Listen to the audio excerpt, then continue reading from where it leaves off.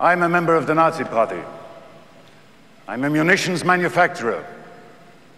I'm a profiteer of slave labor. I am a criminal. At midnight, you'll be free, and I'll be hunted. I shall remain with you until five minutes after midnight, after which time, and I hope you'll forgive me, I have to flee.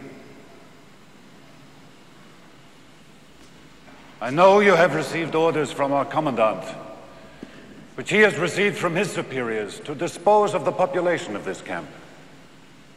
Now would be the time to do it. Here they are, they're all here. This is your opportunity.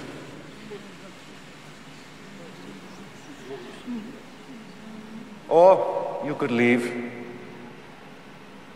and return to your families as men instead of murderers.